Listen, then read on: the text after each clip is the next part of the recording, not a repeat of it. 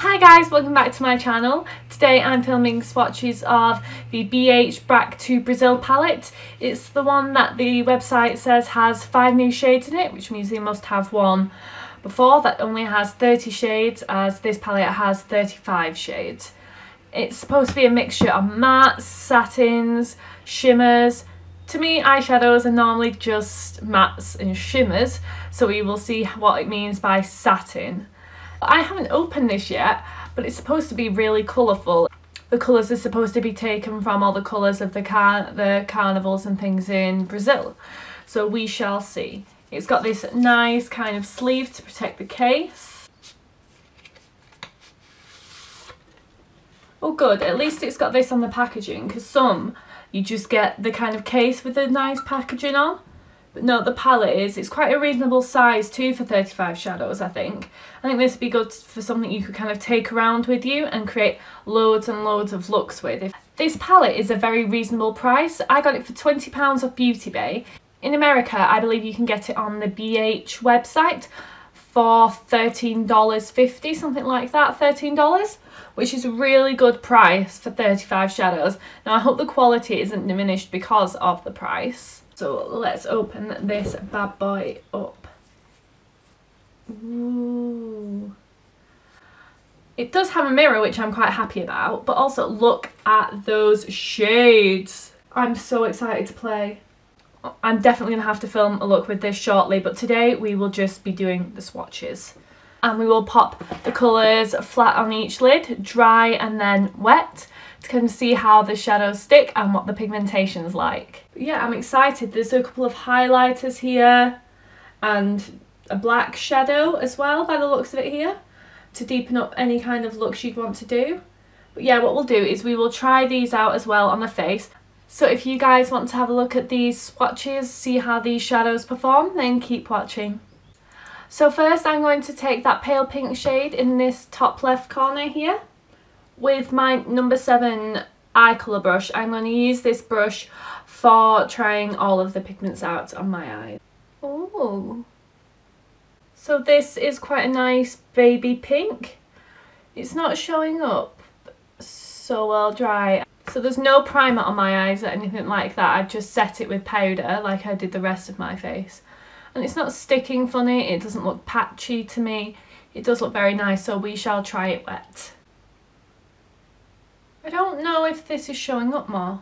I don't feel like this is completely matte. I feel like I can see a little bit of shimmer in it, but it's still a really pretty baby pink. I don't feel like wetting the brush does help too much.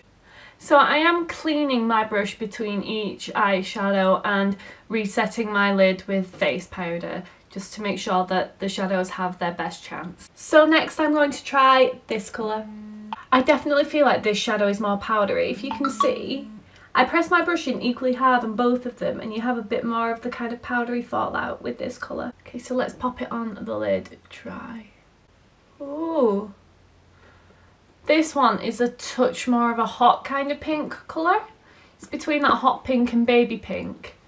And I think it's showing up a lot more. This is really pretty. This is a really nice pretty kind of pink. It doesn't go on patchy. It's really nice and smooth. So we're going to see how it applies wet. Yes, I can see much more of a difference applying this wet than I could with the last shadow. It is really beautiful and really pigmented when you apply it wet. So I do feel like these colours are staining the lid a touch, so do be aware of that. Next I'm going to go into this colour here. In the pan, this colour had less fallout than the colour before it. I would say that went on the smoothest of all of them when dry and probably the most pigmented dry. It does look really beautiful and it doesn't wear patchy like the others. It's a really nice kind of hot pink that one might go in really nice with a Valentine's Day look for next year. Now I'm going to apply it wet. I feel like this is kind of smoothing the colour out. I feel like the last shade had much more of a pop when applied wet. But I do like this colour. I think it's a really nice, fun, kind of girly colour. I feel like this would suit a lot of eye looks. I'm now going in with this colour. To me, these two colours look very similar. This is popping. I did reset my eyes with the powder, but to me this is wearing a touch patchy. I don't know if you can see, but I don't know if that's to do with how dry my eyelids are or to do with the pigment. So I think I'll apply a little bit more and we shall see.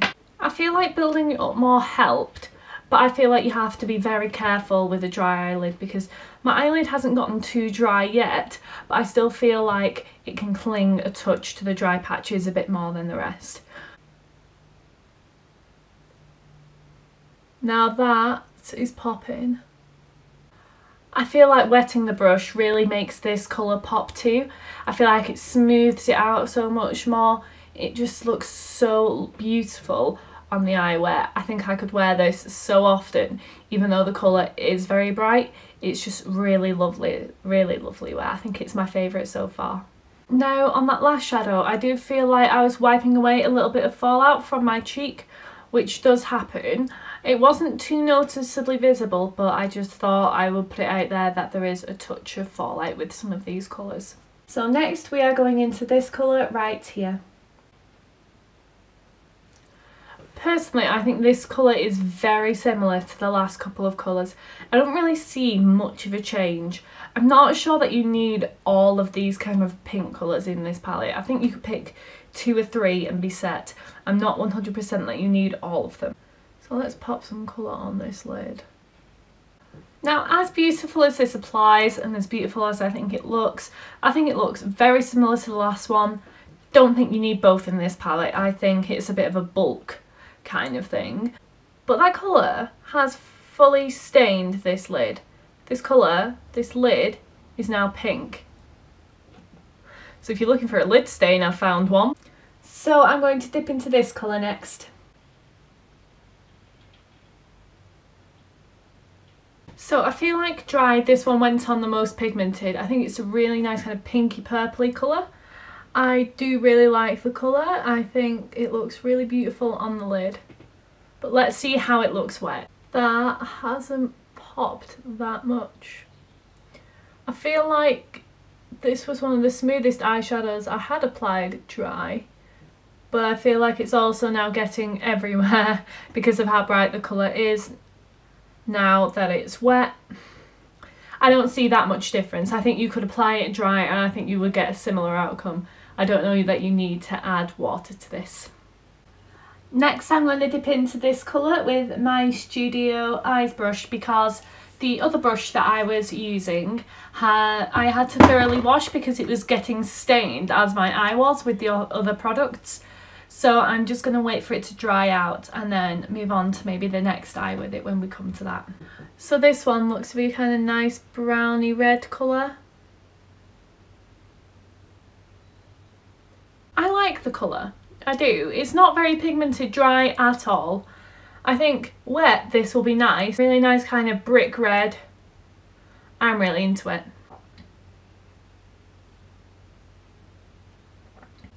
This shadow is far better wet.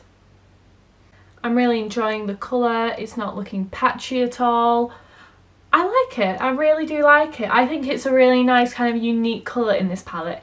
I don't see any other of the same shade which is nice and I think it kind of fits with their theme that they have going on. I'm going to dip into this colour here and apply it all over the lid. I think this one is supposed to be one of the satin ones that the box mentions. It doesn't look quite as matte as some of the other shades in the pan. But this one is far more pigmented to me than many of the other shades I've seen in there. I almost get what it means by satin. It's got a little bit of shine to it when it's wet, but like it has a touch of the glitter to be honest and I actually really like that colour. That is definitely going to be used in a look shortly. I think it's really beautiful and warm.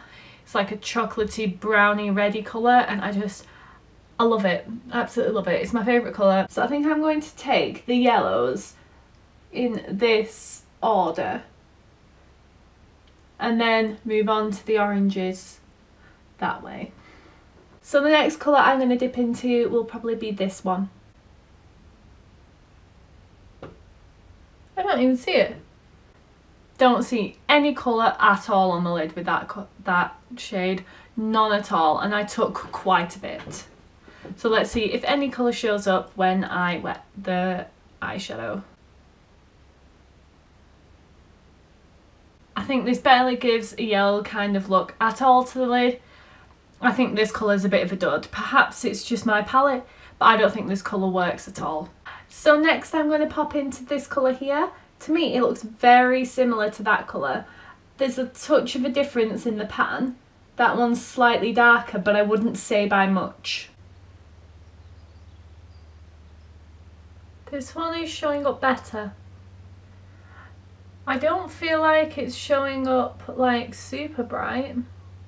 But I don't know how much I anticipated that after the last shadow to be honest. I feel like this is actually showing up so I am pretty pleased. It does have a bit more of a, like a bright yellow pop. It's very much an Easter colour. I think this will complete a lot of Easter looks. This is better. This is Easter on your lid. It's definitely a bright pop of yellow. It's definitely far, far more visible than the other one. I like it. I like it. Like I said, it screams Easter to me. The next shade I'm going to pop into is this colour here. This colour seems very similar to the last colour to me. It's a beautiful colour, but to me it's exactly the same. No, not much difference.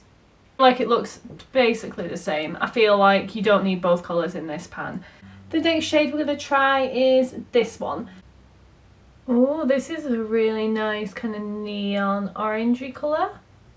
Like the other shadows, you do have to kind of dip into the pan a few times to get enough product, I feel, to cover the lid with colour. Although, again, I'm still powdering my eye, I feel like it's getting patchy because of how dry my eye is.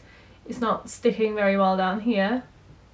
I think it'll definitely wear much better where and you'll get a bit more of that neon but I feel like it's still got quite a nice kind of vibrancy. Oh that pop though. That is nice. Bright orange is what I wanted it to be.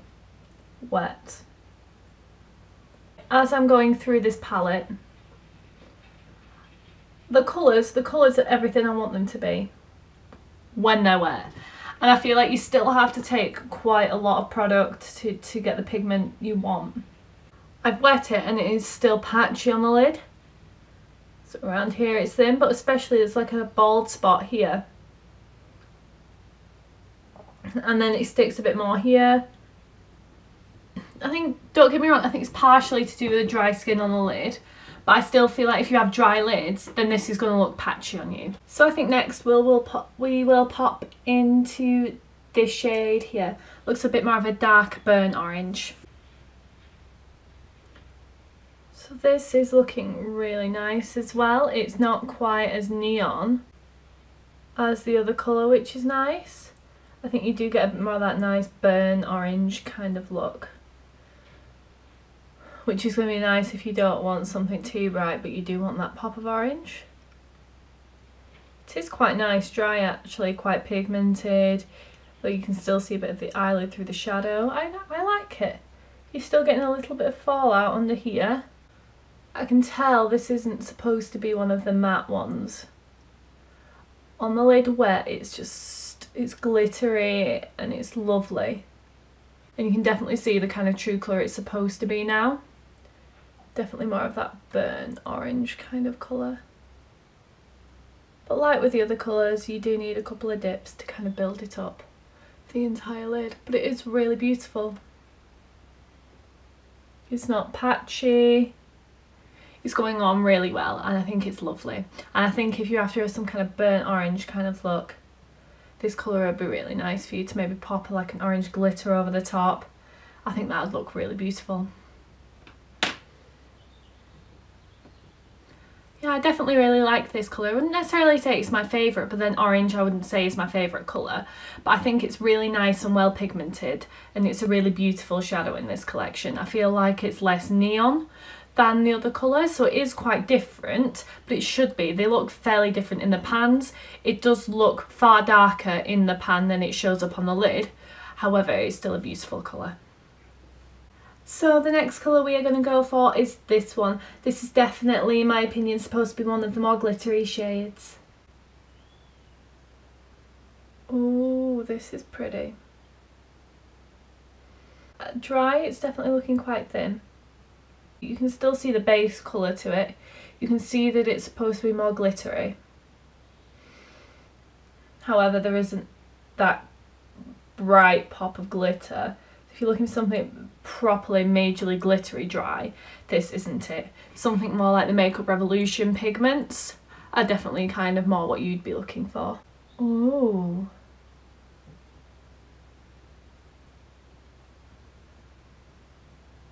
That would be a nice golden caramelly kind of colour. I think that'd be really nice in autumn. That'd be a beautiful autumn colour. That is lovely. That is that is the glittery shade that I think has been the most kind of true glittery shade we've seen so far. I don't know about all this matte satin rubbish that they're on about, but the colours are nice and to me this is one of the better glittery colours in this palette. I believe that my favourite kind of reddy brown shade was also supposed to be a glittery shade. I didn't see as much glitter in that as I do in this one. Next I think we're going to go into this colour. I feel like these glittery shadows are far more crumbly but then they have a bit of a better pigment payoff. I think dry pigment is okay. I think you can still see the glitter but I think it appears on my viewfinder a little bit more patchy than it's looking in real life. That is beautiful. That is what I wanted from this shadow. Beautiful greeny gold. Oh, it's gorgeous. I love it. So the next colour we are going to dip into is this lovely pale green up here. I think what we've gathered from this palette so far is the shimmers are far more pigmented than the mats, but the mats do work if you wet them. And I think this is definitely kind of proof here. These lighter colours, like that light yellow, you couldn't see it. This, you can see it, but it's not massively pigmented dry. I feel like it comes across a bit patchy dry. This is like a neon green. And I don't know, I'm not liking it that much wet to be honest. I feel like I'm having to work with it too much to get it to what I want it to be. I feel like if I'm brushing over to try and bring pigment up here, I feel like it's wiping away the pigment on the lid. Not a massive fan, don't know that I'll be dipping into that shade that much. So the next shadow we're going to try is this one right here. So what I like about the greens is I feel like in the pattern they all look fairly different. Now on the lid, it may be a different story. I feel like this one is showing up a bit better than the previous colour. I feel like I could totally get away with using this dry. It does look really nice. It's kind of like a pale, pale green. It's nice. I prefer it much more than the kind of neony shade that we had before. A little bit of difference. Nowhere near the difference that we have with the shimmers. I think the shimmers respond far better. I feel like it deepens it a bit. The pigment is a little bit more there. Would I say it makes a hell of a difference? Not particularly. So next we're going to try this green kind of colour. This one is coming off a bit more pigmented. However, because of how thin it's looking on the eye, it's coming off lighter than it appears in the pan. That is showing up far darker and far more pigmented when wet. I think my eye is leaking, which is why this shadow is kind of leaked all the way down here. But I think this colour is far prettier. Wet. I feel like I wet the brush a little bit too much and now it's starting to smudge everywhere. However, it is far more beautiful. Definitely, definitely more bright and kind of a true green. It's lovely. But I think for the next eye we're going to have to move on because have you seen that? That's not looking good. So the next colour that we're going to dip into is this shimmering green here.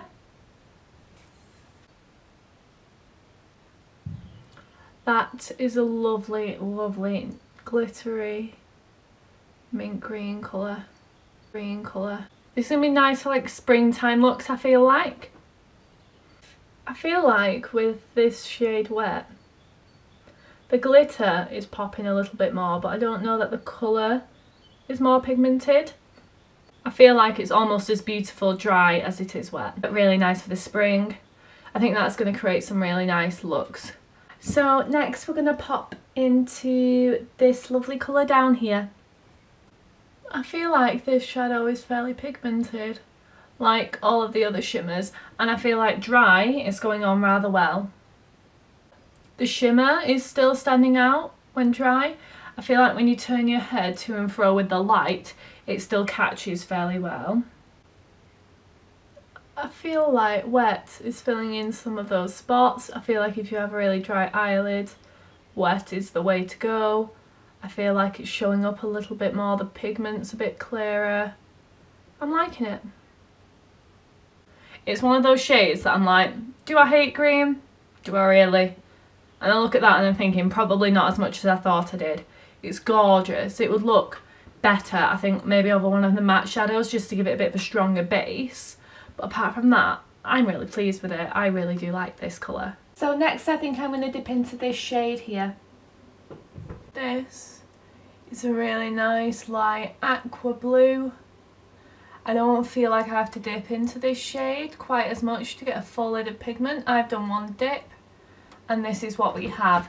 I like it. It looks a bit patchy on the screen so I think if I took a second dip and kind of built up the areas where it's a little bit thinner it looks really pretty. I definitely think wet adds a pop and I think it makes the colour a bit more opaque on the lid. It deepens it a touch, but it's a true aqua blue now. This is absolutely beautiful wet and dry. I would wear it both actually. Having the shadow wet makes it more opaque, but it's a lovely, beautiful colour. I definitely think I will wear this more often. So next we are going to dip into this shade here. This looks to be a lovely kind of turquoise shade. It has that green bit, it has that blue. I think you need a little bit more of this shade than you did the last to get a full colour. It's a beautiful turquoise shade. I'm really liking it. I think you need a couple of dips and it's quite pretty over the lid. I think it will be really nice though wet. Oh, that is really nice. It's definitely looking like one of those satin shadows.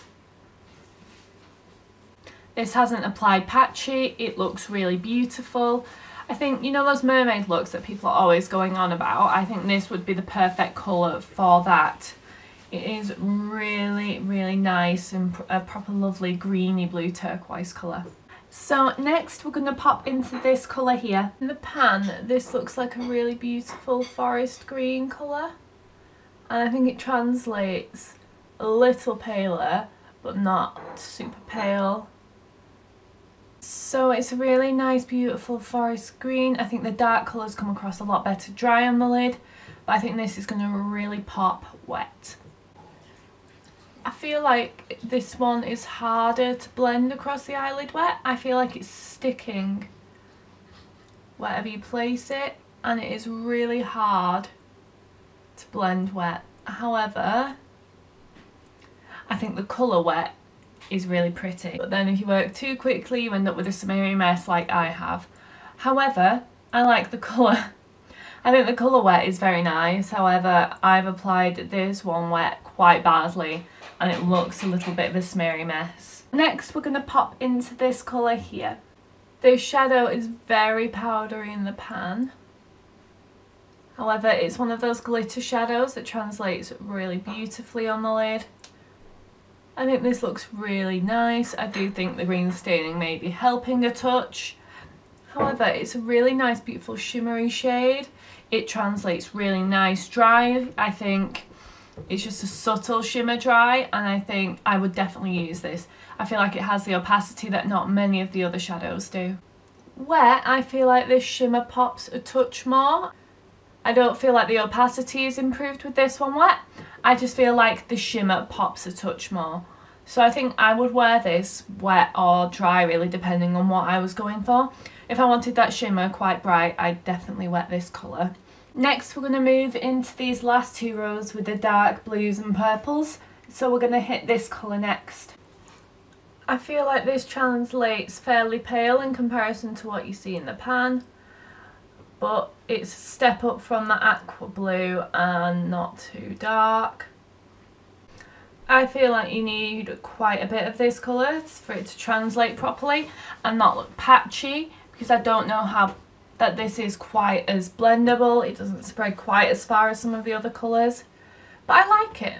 I like it. Okay, so wet it has a touch more opacity. I wouldn't say it's quite as opaque as many of the colours are wet.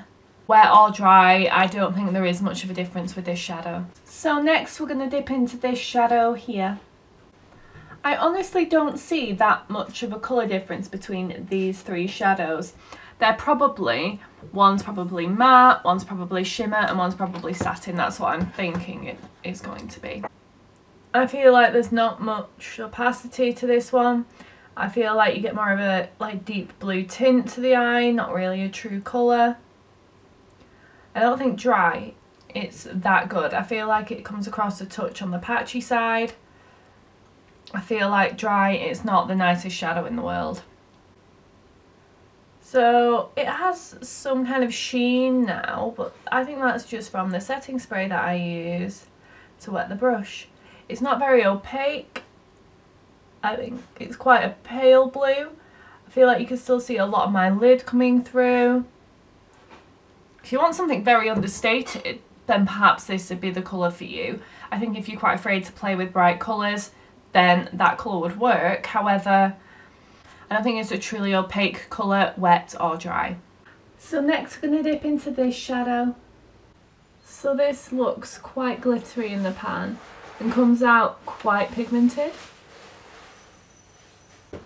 So this is very pigmented dry. I don't feel like it goes on patchy. I feel like perhaps I should have put a bit more on down there. But it looks fairly even. It does look really nice. It's really nice deep blue. I don't see much of the glitter that I see in the pan though. So perhaps that'll be show more when it's wet. I think the glitter is more prominent now. Not super glittery. This also looks deeper. Obviously once you've wet it, it comes across very deep. So this definitely has a quite a different look, wet or dry, and I think depending on the look you want, depends on whether you wear this wet or dry. So the next shade we're going to dip into is this one here. This one also looks glittery but much deeper, more like a navy blue. So this dry is going on fairly light. It's still definitely visible and I think you can still see a bit of the glitter in this one dry but then I'm definitely looking for it. But this one doesn't look much deeper dry. I feel like this looks like the shade of the other one wet when dry. I don't know. I'm hoping I'll like it wet, but it doesn't stand out to me that much dry. This one, like most of the bottom ones on the other row, seems to be the um, the glittery shadows that the palette mentions. That is pretty wet. It has this beautiful sheen, the glitter is there. Like I said, I definitely think it's supposed to be glittery in line with the other shadows on that row. I am loving this colour. It's a really nice kind of deep, deep blue. I wouldn't say navy like I initially thought in the pan. But it's really deep, kind of midnight blue, sparkly. It's really beautiful, really beautiful wet. I definitely recommend trying this one wet. Dry doesn't do it just. So next we're going to pop into this purpley shade here. What I like about the purpley shades in this palette is they all look fairly different from each other. There isn't one where I would say there's already one of those in the palette, whereas I feel like the blues definitely have that similarity about them that this doesn't have. Ooh. So this isn't a lavender, but it's a nice kind of paley purple. It comes across really nice and pale on the lid. I think if you wanted a light wash purple, this would be it. I have a feeling wet this is going to be quite dark. Oh, I was wrong. It just adds to the opacity of the colour and makes it a little bit more bright. Almost has a fuchsia element to it. I kind of see a bit of pink in there. That's a really nice cool purple tone. I think that's really nice. I think I don't have a lot of purples in my collection and this is definitely something I'd like to start working with. So next I'm going to dip into this blue here. It does look very similar like I said before to these shades here so I don't expect there to be that much difference. Well this is going to be that shade that has absolutely no payoff isn't it? This is not going on very well. It's patchy. I feel like that's what's left of the last shadow. I did clean my brush but it just doesn't look good. It feels like there's no colour payoff whatsoever and it just doesn't look very nice. Well that's nice actually. I think the only way to get colour with this pigment is wet. It is a really nice pretty kind of royal blue when wet However, you definitely have to wet the brush to get any colour payoff whatsoever. It is a beautiful colour and it does show up really nicely when wet, but you do have to work quite hard with it to make sure it's not patchy. I don't know. I feel like there are other pretty colours in this palette that you could go for. I feel like this isn't absolutely necessary and it feels fairly similar to some of the blues we've seen previously. So next we're going to take this deep purpley colour here I think as my eye is starting to dry out, it's getting a little patchy. But then this purple seems to me very similar to the last one. It doesn't seem much darker. I think wet, it will translate better as a darker colour, but otherwise I'm not seeing it that well.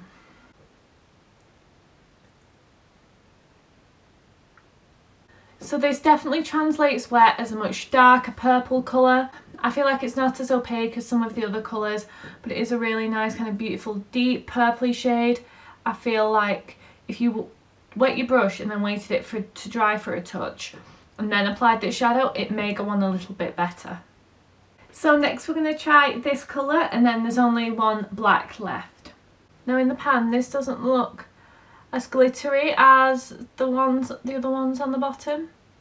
This shadow is also not showing up very well. It just kind of looks like my lid has been very stained rather than slightly stained. It's very pale, almost a lavender colour. Doesn't look that way in the pan, but I think this is a very light kind of wash of colour, even wet. So I think if that's what you're looking for, then this is definitely the shadow that will work for you. But if not, there are other shadows in here that I think would work better than this one. And finally for the shadows, we're going to try the black shadow at the bottom. This brush is stained. It's not a true black, but then it's going on dry and fairly thin. So it's not an ultra pigmented black. And then my dry lid is going on a touch patchy. Don't get me wrong, it's a nice colour, but on my dry lid it's ultra patchy. There are other blacks in my collection that I would probably use over this. I don't think wet helps with the patchiness at all.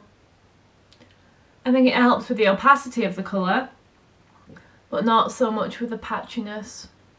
I managed to get this all over my eye. I look like I've been punched. I don't think this has helped the wetness. I feel like it's a bit more opaque but that's kind of it and I feel like I definitely have other shadows in my collection that are more opaque dry and I would probably use those over this. So although I already have highlighter on, I've started kind of highlighting above my brow bones and I think that's what I'm going to try each of these highlights for.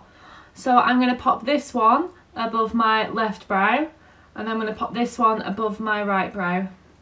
So it's very subtle and I can see it very lightly when I turn my head into the light. It doesn't look like much in the pan, but it's a very nice subtle highlight. Also a very nice subtle highlight. I think I prefer this one to this one. Just because I feel like it gives a bit more natural sheen. This one feels a touch chalkier. But they're both fairly pretty. I think I would use both again. But I would definitely go for that one more. I feel like that blends a little bit better on my skin. So I'm going to wet the highlight on the right and kind of top up my highlight with it.